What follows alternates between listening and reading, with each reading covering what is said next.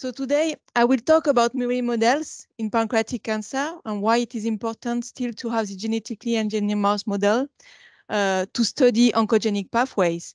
And it's actually an excuse because today is the last day of Marlene work. Uh, so in, in this time when we talk about uh, retraite, uh, you know, it happens as well. You know, some people uh, go and stop uh, uh their work to continue to their next life. Uh, but I want to explain my view of what I think Marlene has brought as a scientific contribution to our field. So it won't be the full, you know, things of everything you've done, just what um, uh, what I think uh, is more important for my field. And I'm really sorry if, uh, you know, some things are, are not uh, completely uh, um, explained.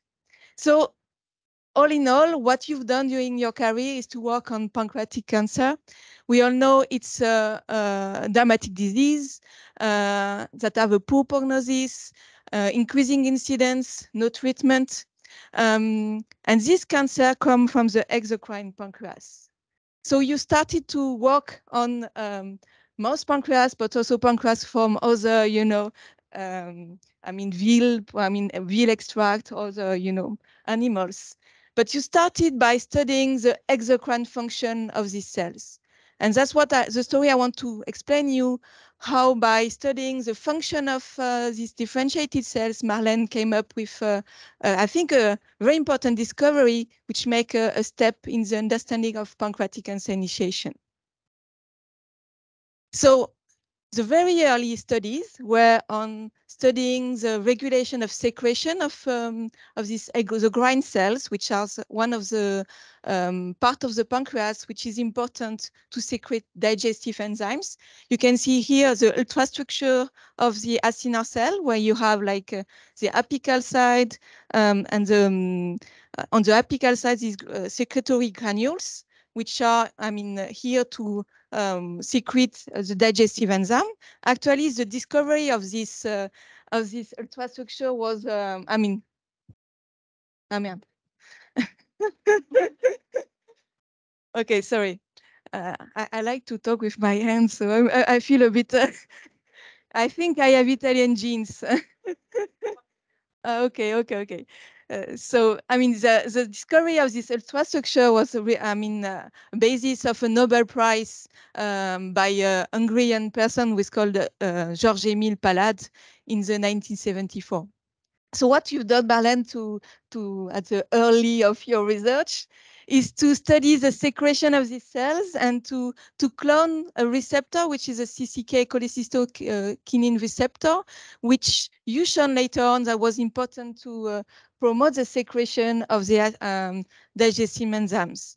And from this early work, you have uh, decided to create a new mouse model transgenic mouse model to express ectopically, you know, this receptor uh, in uh, exocrine cell and acinar cells to study how this receptor would um, um, promote uh, exocrine pancreatic secretion.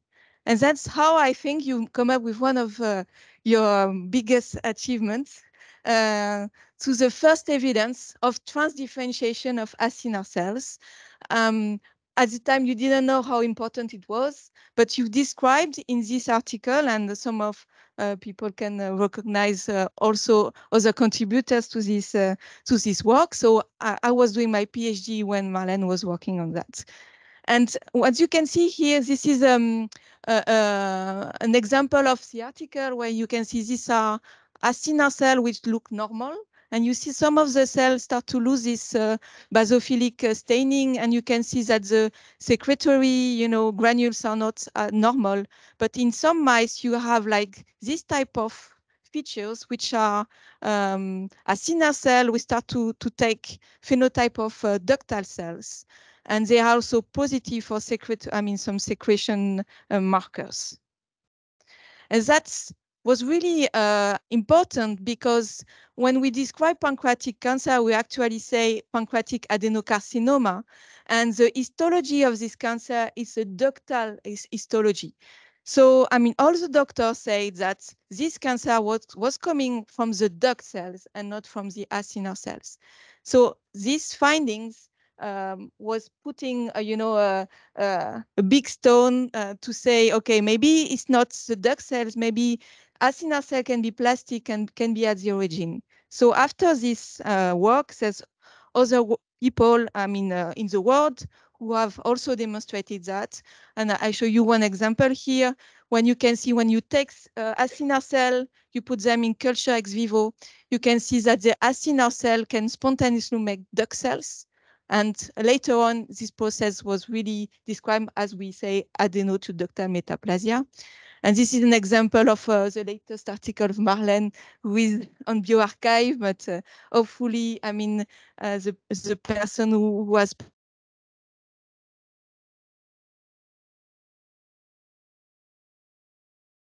from this delete some of the key protein uh, protein you can also prevent this uh, to ductal metaplasia so that's now the um, the um, uh, history, the book, you know, what's uh, what we describe in the initiation of pancreatic cancer. And this first step of acinar to ductal metaplasia is a Nature review uh, from uh, 2017. So next, I want to show you also what we've done in the later uh, years with Marlene, because, you know, we've worked quite closely in the last five years. So it's quite clear now that acinar cells, which are facultative progenitors in this tissue, are some of the cancer-initiating cells in pancreatic cancer. It's also well known that uh, it comes with uh, intrinsic factor, which are muta mutation of KRAS, that the inflammation can accelerate that, and uh, Marlene has done some work on that as well.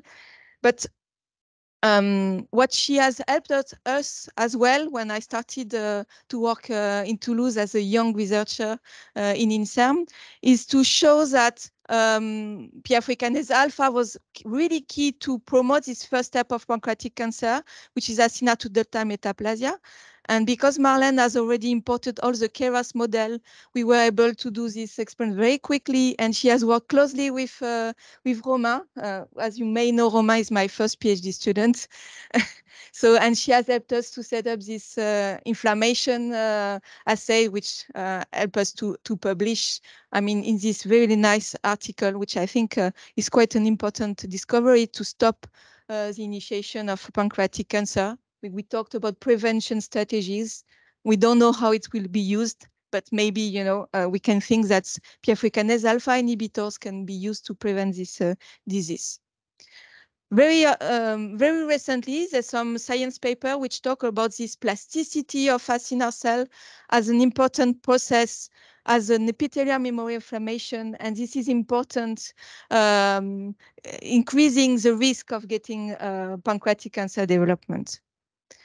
But what I want to talk about as well is a very recent um, uh, findings. And I have to say that uh, I presented doing seminar like two weeks ago, and I said to Marlene, I apologize because I think what we are finding is we are destroying what you showed. this very, very simple thing with acinar to ductal. And what we've done in the last five years, we've also teaching and we were presenting like that. And now we think we, we should not present it like that and that these acinar cells are even more complicated because when we have access now with single cell RNA-seq to the whole diversity of the cell, and this is actual we our our data, and we can see this acinar cell here. They are not all equal, and there are clusters of cells which are different. different. And what we've been uh, hypothesizing, uh, hypothesizing that these different uh, clusters of cell might um, behave differently when KRAS is expressed. Okay, and this different level of uh, differentiation could be important. I mean, to regulate this plasticity, but also another way to uh, protect for, from cancer initiation as well. And we have very early, you know, findings. I mean, this is a leftover experiment from Roma, where we, we could see that of, of when we, okay, I'm not so. uh, when we blocked PI3Kinase alpha here, you know, we move PI3Kinase alpha, we block this transdifferentiation, one type of plasticity of acinar cell, but we also increase proliferation of the remaining acinar cell.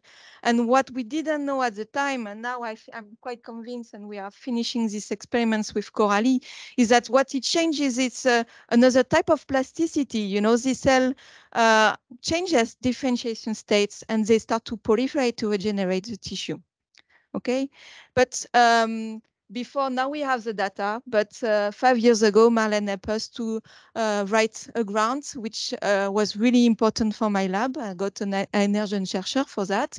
And that's what we are studying, how this uh, plasticity between the different uh, differentiation states is important for pancreatic cancer. So uh, to conclude, uh, I'm really convinced, and I think also uh, Marlene's work and career shows that it's still critical to use this mouse model uh, to understand uh, oncogenesis. Uh, it's really important to perform lineage tracing. We've seen very nice example in the presentation of Sandrine before as well to see all these different pre-leukemic stage. But I mean, here is also an example in pancreatic cancer it's really important to understand the multi-step process from cancer initiation to cancer progression, and also to study systemic res response as part of the work that Marlene has done, which I have not described.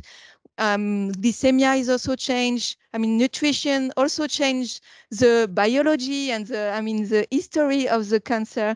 And this is a really important thing that we can only study in mouse model and ex vivo is going to be a bit more complicated to uh, continue to have this uh, systemic uh, regulation. And it's all the more uh, uh, important in pancreatic cancer that access to early steps is still difficult. So uh, conclusion, thank you. I, I, could thank lots of people for this work, but today I'm just going to thank Marlene. Thank you. When the visions around